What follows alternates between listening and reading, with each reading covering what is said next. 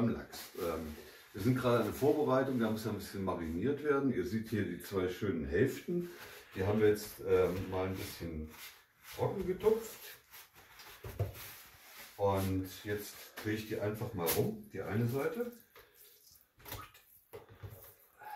Und wir haben zum Marinieren ganz speziell, ich weiß nicht, machen wir jetzt äh, Markenwerbung, wahrscheinlich nicht, Flammlachsgewürz. Da ist schon alles drin, wir werden das mal probieren, das kenne ich so noch nicht. Ähm, sind ähm, Salz, Pfeffer, Kräuter und so weiter, also alles, was man zum Marinieren von Fisch braucht. Ähm, wie gesagt, das ist ein bisschen Premiere. Wir werden das einfach mal probieren. Ich werde den Fisch jetzt marinieren, dann lassen wir den zwei Stunden liegen. Dann kommt der, das werde ich euch auch noch zeigen, etwas später, hier ähm, auf, diese, auf diesen Flammlachshalter. Der kommt dann so übers Feuer. Das äh, werdet ihr später auch noch sehen. Wird für schön eingefettet. Und dann kommen diese zwei Hälften drauf. Nicht alle beide, sondern jeder auf eins. Und äh, dann werden wir mal sehen, ob uns das gelingen wird. Bis später. So, der so. HB ist da hinten am Marinieren jetzt. Ähm, ich sehe da jetzt nochmal ganz kurz. Ich bin derjenige, der das Ganze festhält und es nachher äh, mit dem HP zusammen und einigen anderen Leuten essen wird. Also auch ich bin gespannt. Also wie ihr seht, ähm, machen wir jetzt schön vorsichtig erstmal dieses Gewürz drauf. Das werde ich dann anschließend ähm, noch ein bisschen einmassieren. Dann lassen wir das noch etwas ruhen und dann geht es weiter, wie schon mal gesagt. Dann schalten wir euch wieder zu. So, ähm, Lachs ist mariniert. Schön, jetzt habe ich den mit ähm, ja, Backpapier abgedeckt und jetzt lassen wir den zwei Stunden ziehen. So, jetzt werden wir gleich hier unten im Hof das Feuer vorbereiten für den Lachs. Hi. Äh, während der Lachs mariniert, werden wir jetzt mal die Feuerschale vorbereiten, wo der Lachs dann langsam vor sich hin garen wird. Anzünden nur gutes Buchenholz, selbstverständlich. Das werden wir jetzt schön aufschichten.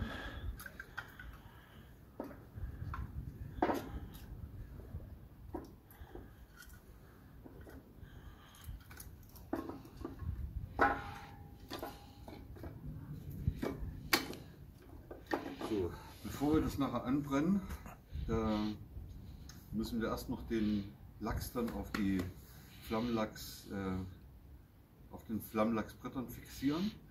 Und ähm, das Feuer wird dann erstmal angezündet. Die werden noch nicht gleich draufgesteckt. Sondern wir warten, bis das eine schöne Glut entwickelt hat. Und dann haben wir noch was ganz Besonderes. Ähm, wir haben hier Hier, alte Weinreben. Die, die, werden wir dann auch ins Feuer geben, wenn der Lachs drauf ist, weil das ähm, gibt ein, ein ganz besonderes Aroma nochmal. So, jetzt äh, für das Blutbett legen wir jetzt diese schönen, wunderbaren Stücke der Weinrebe mit drauf, dass die schon mal richtig durchblühen. Wie gesagt, alles fürs Aroma. Das äh, Glutbett ist vorbereitet. Und in der Zeit gönnen wir uns, während das brennt, ein Bierchen. So, das Blutbett ist jetzt perfekt. Jetzt hängen wir mal die geilen Teile hier dran.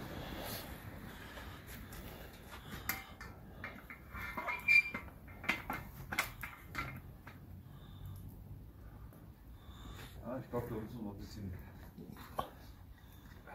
bisschen nachregulieren.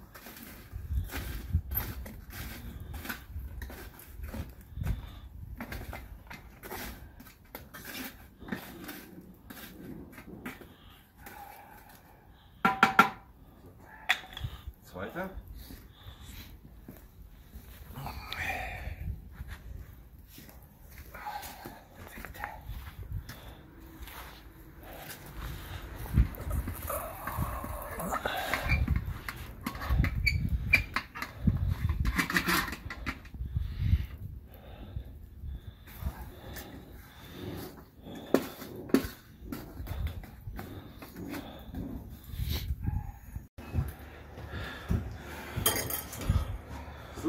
Die Teile sind fertig.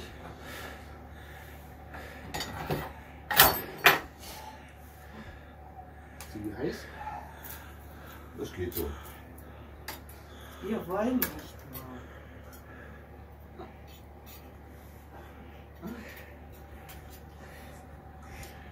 Es löst sich super, wie erwartet. So, jetzt schneiden wir das Teil mal an. Papi. Super. Super.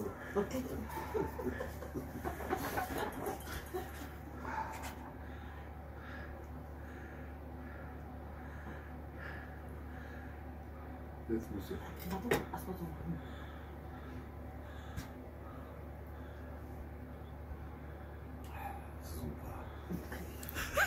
Super.